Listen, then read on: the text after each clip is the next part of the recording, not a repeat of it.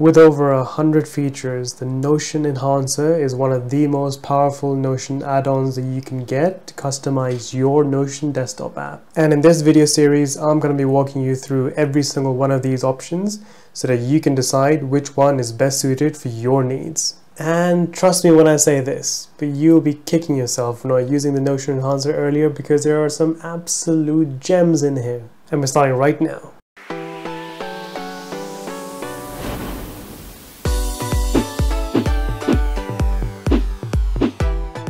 Next part of the Notion Enhancer allows you to be able to enter into a focus mode. And what that basically means is that it will hide the title bar and the menu bar on the top part of your Notion desktop app. So let's go ahead and see that in action. It also does give you the option to be able to add padding to the bottom of the page if you want to. So now let's go ahead and relaunch the app. So as you can see, when you actually go ahead and hide the menu on the top left hand side and you move your cursor away from that menu, you'll notice that the all the toolbars and the menu options at the top are completely hidden. And when you move your cursor away, it just gives you this absolutely clean focus mode view so you can completely immerse yourself in the content of your page without having to worry about sort of the different menus at the top. So again, it's a really good feature of the Notion Enhancer that allows you to be able to do that and puts you in charge of how you want to be able to experience the Notion desktop app.